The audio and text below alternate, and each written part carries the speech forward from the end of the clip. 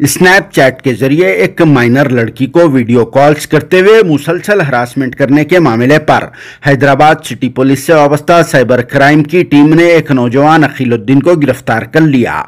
जी हाँ गिरफ़्तार शुदा इक्कीस साल उम्र वाले अकीलुद्दीन पेशे से इलेक्ट्रिशियन होता है और वो पुराने शहर अमान नगर तालाब कट्टे का रहने वाला है। जो एक माइनर लड़की के प्राइवेट वीडियोज़ को स्नैपचैट के ज़रिए कैप्चर करते हुए उसे ब्लैकमेल कर रहा था और फिर मुसलसल हरासमेंट भी किया जा रहा था।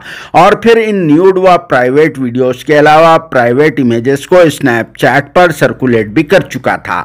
इस सिलसिले में मुतासरा लड़की की माँ ने साइबर क्राइम पुलिस स्टेशन से रुजू होकर इस वाकई की शिकायत दर्ज करा दी थी, जिसके बाद साइबर क्राइम पुलिस की टीम ने अकीलुद्दीन को गिरफ़्तार कर लिया, जो बहुत ही अफसोस और एक सबक आमेज वाक़ बन चुका है, क्योंकि अकीलुद्दीन ने जो हरकत की वो बहुत ही ज़्यादा शर्मनाक और नाकाबिल बर्दाश्त है, जिसे किस तरह की सज़ा देना चाहिए।